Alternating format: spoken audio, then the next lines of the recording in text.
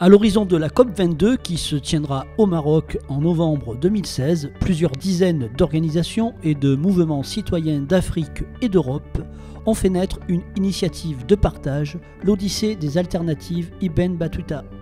Du 19 octobre au 10 novembre, une flottille de voiliers reliera par la mer et en itinérance six escales.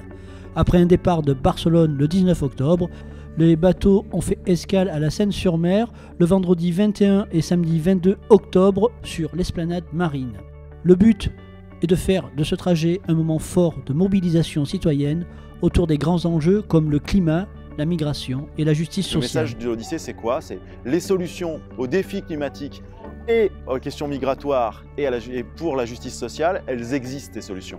Elles sont pratiquées par les sociétés civiles de toute la Méditerranée. Il y a des gens qui se lèvent, il y a des millions de gens qui se lèvent, qui font euh, de l'agroécologie, qui font euh, euh, de l'économie autrement, qui font de l'habitat partagé ou de l'éco-construction. Et ces solutions, et qui accueillent les migrants et avec qui ça se passe extrêmement bien. L'Odyssée, ce n'est pas qu'une promenade en, Méditerranée.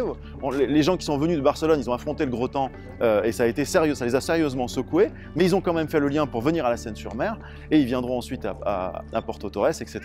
C'est pas que c'est pas qu'un comment dire qu'un voyage en Méditerranée, c'est bien au-delà de ça. L'année prochaine, il y a d'autres projets qui vont naître de ces rencontres, de toutes les rencontres qu'on fait ici et ailleurs, et donc on est comment dire très fiers de, toute l'envie et de tout le contenu qu'on est en train de brasser ensemble.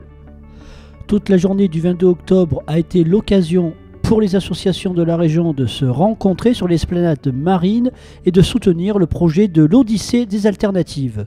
Une journée sur le mode du partage, de l'échange et de la mobilisation citoyenne.